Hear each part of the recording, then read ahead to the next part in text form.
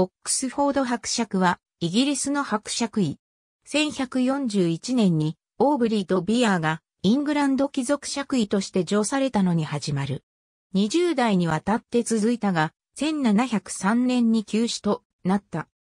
他に、オックスフォードの名を冠する爵位として、ロバート・ハーレーが1711年に叙された、グレートブリテン貴族オックスフォード伯イコール、モーティマー伯。ハーバート・ヘンリー・アスキスが1925年に除された連合王国貴族オックスフォード・アスキス伯がある。20代伯、オーブリーの紋章。エスカッシャンは21分割されており、最上左端にドビアー家本来の紋章が確認できる。ドビアー家はフランスのルマンディーベールの出身であるためにドビアーという仮名になった。オーブリー・ドビアー一世がウィリアム一世のイングランド侵攻に加わってそのままイングランドに定着した。その息子のオーブリー・ドビアー二世は大侍従卿となり、さらにその息子で大侍従卿の地位を継承したオーブリー・ドビアーは1141年7月にイングランド貴族爵位ケンブリッジ伯爵に叙せられた。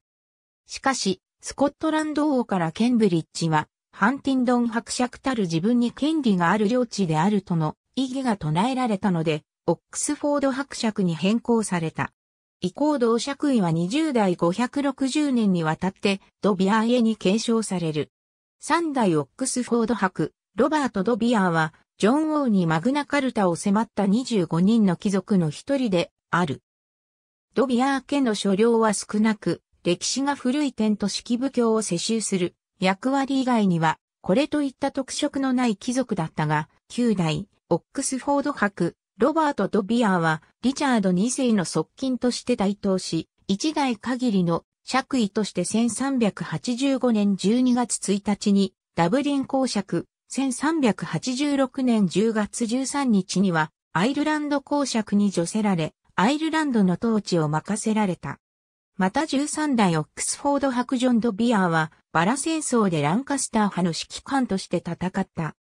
20代オックスフォード伯、オーブリー・ドビアーの死去をもって、男子継承者と証明できる人物が亡くなり、爵位は休止した。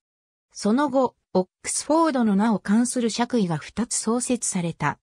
一つは、安城時代のトーリー党政権の首脳だった、ロバート・ハーレーが1711年に除された、グレートブリテン貴族オックスフォード伯爵イコール、モーティマー伯である。この爵位は6代続いたが、1853年に廃絶した。